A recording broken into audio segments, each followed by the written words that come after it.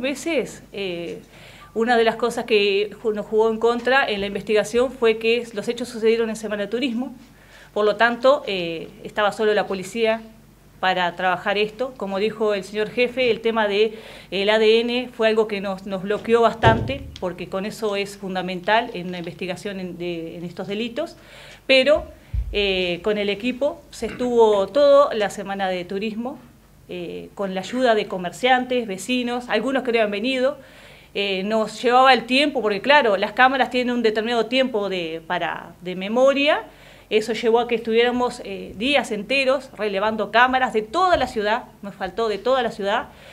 Como digo, la colaboración de las personas en sus domicilios, en sus comercios fue increíble, inclusive de, darnos, inclusive hasta los usuarios para ver cámaras del lugar, que luego de recolectar toda esa, información, llevó tiempo procesarla, ¿no? Con un equipo que con varias computadoras se miraban todas las, grabaciones y debido, eh, en base a ese trabajo, fue que se comenzó y se determinó eh, un vehículo y de ese vehículo la persona y de esa persona con el sistema dimos con quién, dónde vivía y de ahí lo empezamos eh, con, con, las determinadas pruebas que fuimos recolectando, dimos con su identidad. ¿Cuáles fueron otros detalles que se levantaron en el allanamiento de su domicilio para involucrarlo en el caso? Y eh, de testigos, teníamos un testigo eh, de, frente al, lugar de los hechos, que el testigo no llegó a ver mucho, lo llegó a ver de atrás, pero dio una descripción de él, eso también dio una descripción. Y después, en base a, lo que se fue armando en el allanamiento, indicios... Había un calzado también que lo había indicado allí, que estaba, se había encontrado un calzado casi un... Sí, eso, o sea, eh, hubieron determinadas pruebas y temas, que eso es más que nada de policía científica, Policía Científica hizo un relevamiento que armó su carpeta y se cotejó y todo eso después, en base a los allanamientos y la prueba obtenida, se, se fue, bueno, se fue confirmando eh, eso, esos indicios que se levantaron del lugar.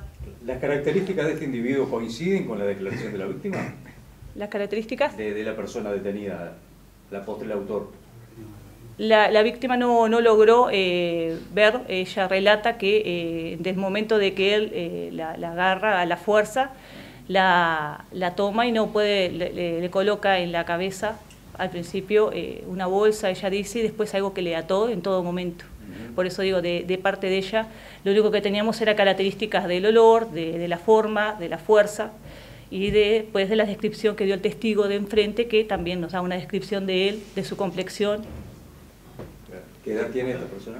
27. 27, años tiene el consumidor lo hizo bajo los efectos de una sustancia? O, Eso no se, no se podría decir porque si en el momento, si no se agarró eh, en el momento del hecho, nunca se puede determinar. ni determinar. Doctora, según usted dice, ¿había un testigo que vio el, hecho? Sí, hubo un testigo que vio el hecho, pero eh, lo vio desde la ventana y, da una descripción de él y de la, de, la escena. Él dice que él, vio que un hombre agarró algo y se lo llevaba a la fuerza hacia hacia el descampado. ¿Esta persona la venía siguiendo a la chica o fue de casualidad la eh, Esta persona ya por la, la, carpeta que se armó eh, estuvo toda la noche en Sarandí, en la vuelta. Eh, las cámaras indicaron que en todo momento estuvo como buscando, no ingresó a ningún local ni nada, sí estuvo tomando cerveza. Y con las cámaras lo atamos también. Eh, también tenemos otra testigo que también fue fundamental, es otra adolescente, la cual eh, suponemos que él también la tenía como vista, que también sale del baile, que también la identificamos en las cámaras, hace un recorrido, que las compañeras también la acompañan en determinadas cuadras y después se agarra para el mismo lugar que, agarró la víctima de, la, violación. Eh, y este auto, a, esta testigo, también la empieza a, empieza a pasar por al lado de ella, ella ya iba sola en el trayecto, la trata de interceptar en, el recorrido, que eso se verifica a través de las cámaras, pero ella llega a su lugar, de, a su domicilio, entonces él agarra y ya había visto y había pasado por el lugar de la, por donde iba la víctima, ahí es donde eh, la agarra y, abusa de ella sexualmente. ¿Fue detenido en el mismo Sarandí Grande o ya se había este, trasladado a su lugar de origen? No, fue detenido en Sarandí Grande. ¿Y qué ocupación tenía allí o a qué se dedicaba? Eh, era empleado en una empresa. ¿En la misma ciudad? En la misma ciudad.